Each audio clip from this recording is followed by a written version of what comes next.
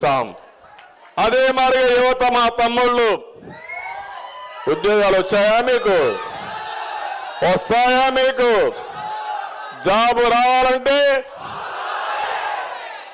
ఆ పరిస్థితిలో రాష్ట్రం ఉంది ఇప్పుడు. మళ్ళీ మనం వస్తేనే ఉద్యోగం.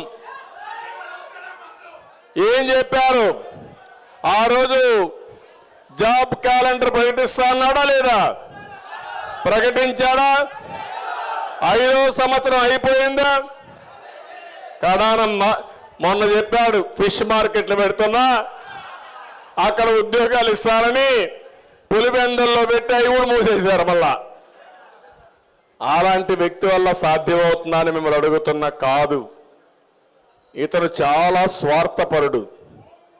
పేదవాళ్ళు పిల్లలందరూ కూడా ఉద్యోగాలు లేకుండా మనమందరం కూడా ఆయన ఇంగిలి మెతుకులకు ఆధారపడాలనే ఆలోచన తప్ప పేదవాళ్ళని ప్రయోజకులు చేయాలని లేదు. పేదవాళ్ళు నిరుపేదలు చేస్తున్నాడు. అది నా బాధ. అలాంటి ముఖ్యమంత్రి వల్ల మన జీవితాలు ఏమాత్రం బాగుపడవని చెప్పి తెలియజేస్తున్నా.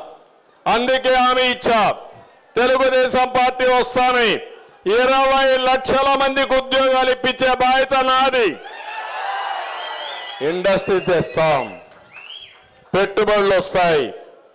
మన పిల్లలకు ఉద్యోగాలు వచ్చే విధంగా ఇక్కడి నుంచి అవసరమైతే ప్రపంచంలో ఏ దేశంలో కావాలన్నా పనిచేసే విధానానికి శ్రీకారం చుడతాం.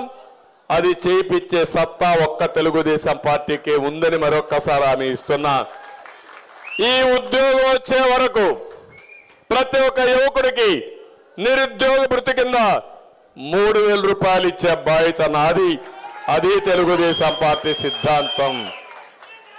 అదే మాదిరిగా ఈరోజు రైతాంగం గిట్టుబాటు ధర లేకుండా వేసిన పంటల్ని కొనే నాదులు లేకుండా రాయలసీమలో సాగునీటి ప్రాజెక్టులన్నీ పడకేసే పరిస్థితికి వచ్చాయి. అందుకే